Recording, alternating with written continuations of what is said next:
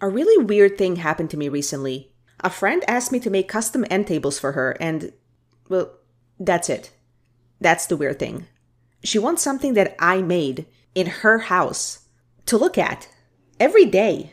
I didn't realize how much it would mean to me that my friends would want to subject themselves to looking at my Frankenstein creations every day. I almost rejected the job, not because I didn't want to do it, but because I felt like I wasn't worthy yet. I'm not a pro. I don't know what I'm doing. But then it hit me.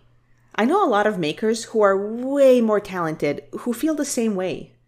It made me realize that the most elusive skill is being able to step back, detach, and view your work objectively.